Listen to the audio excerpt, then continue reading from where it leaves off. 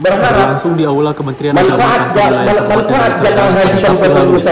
Ratusan jemaah calon haji dari Serdang mengikuti bimbingan manasik haji. Kegiatan ini bertujuan untuk memberikan pembekalan kepada jemaah calon haji tentang pelaksanaan haji, baik rukun wajib maupun sunnah haji. Bimbingan manasik haji diikuti sebanyak 145 dari calon jemaah haji laki-laki dan 125 calon jemaah haji perempuan di Kabupaten Deli Serdang. Acara ini dibuka oleh Bupati yang diwakilkan asisten pemerintahan dari Serdang. Kemudian dilanjutkan dengan pembekalan manasik haji dan juga kesehatan ibadah jemaah oleh Kepala Kanwil Kemenang Provinsi Sumatera Utara dan Dinas Kesehatan Kabupaten Deli Serdang. Kegiatan manasik haji ini berlangsung selama dua hari. Selain pembekalan tata cara pelaksanaan ibadah haji, jemaah calon haji juga dibekalkan dengan mengenalkan budaya dan peradaban. Manasik haji tahun 1443 Hijrah Kabupaten Deli Serdang saya nyatakan dibuka.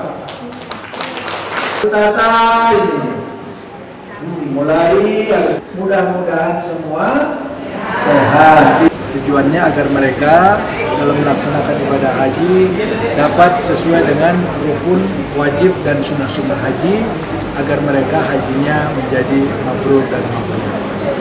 Dengan begitu, dengan manasik ini kita berharap mereka akan menjadi haji yang mandiri, tidak tergantung kepada uh, pembimbing dan teman-temannya, tapi mereka bisa uh, melaksanakan haji dengan baik.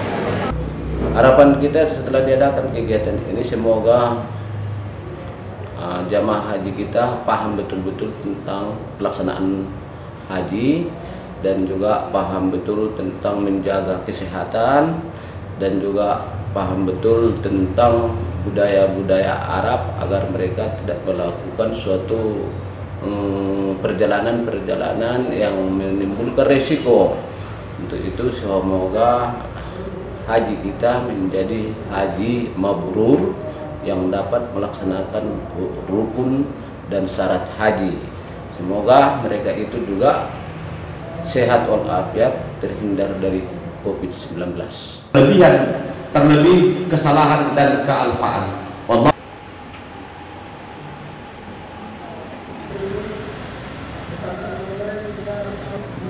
Dari Medan, Sumatera Utara, Tim Liputan B News TV. B News TV.